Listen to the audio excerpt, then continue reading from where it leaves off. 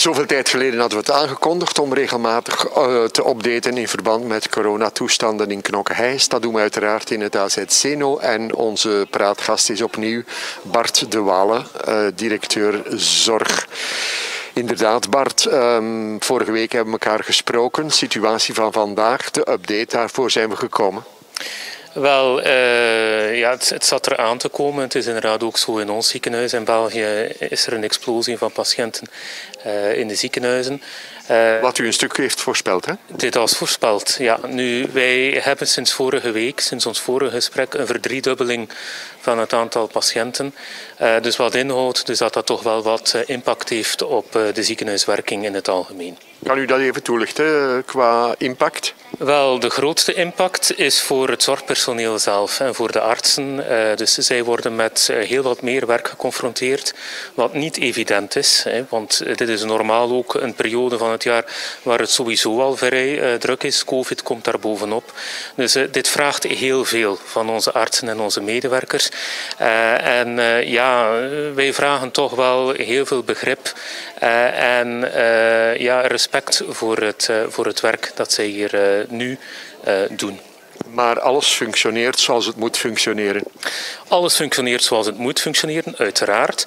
Niettemin hebben we wel uh, dus vorige week de beslissing genomen om uh, dus een geplande chirurgie, zaken die kunnen uitgesteld worden, dus dat we die ook uitstellen. Dus wij gaan ons nu enkel nog focussen op uh, dringende ingrepen, dringende operaties, dringende onderzoeken, zoals bijvoorbeeld oncologische behandelingen, toediening van chemotherapie en dergelijke. Dus dat blijft uiteraard allemaal mogelijk. Andere zaken, dus daar vragen we toch wel wat begrip. Uh, als er mogelijkheid is om dat uit te stellen, dat ook uit te stellen. Wat zijn dan van die uitstelgevallen? Kan u daar een voorbeeld van zeggen? Uh, dat kan gaan over, uh, over allerhande zaken. Uh, kleine operaties, dagchirurgie en dergelijke. operaties waarvan men sowieso weet dat, dat, dat dat kan uitgesteld zoals bepaalde orthopedische ingrepen en dergelijke. Ehm, maar goed, dit blijft natuurlijk voorwerp van een gesprek tussen behandelende arts en patiënt. Juist. Men wil sowieso de ziekenhuizen vrijwaren van overbevolking, als ik dat zo mag stellen.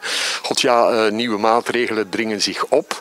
Toch nog even stellen, de cijfers in Knokke-Heist zeggen 887 besmettingen per 100.000 inwoners.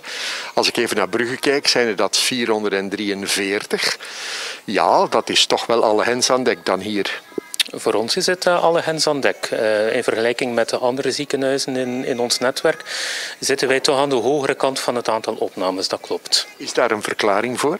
Dat heeft uh, alles te maken met feiten. Dus dat de incidentie in onze regio, in onze regio dan bedoel ik de regio Knokke-Heijs-Blankenbergen, een stuk hoger ligt in vergelijking met, met, met andere steden zoals Brugge of, of Oostende. En nog even informeren naar het aantal patiënten richting uh, intensieve zorgen. Wij hebben op dit moment vijf patiënten op intensieve zorgen liggen. Uh, en een uh, twintigtal in het beddenhuis. Die patiënten zitten uiteraard in een cohortafdeling. Um, en gelukkig kunnen er daarvan af en toe ook mensen naar huis, die dus voldoende hersteld zijn. Oké, okay, bedankt voor de toelichting. Uh, het spreekt voor zich dat wij een van de volgende dagen opnieuw zullen langskomen naar gelang de evolutie, als dat mag. Uiteraard, met veel plezier zelfs. Dank u wel. Dank u wel en blijf gezond.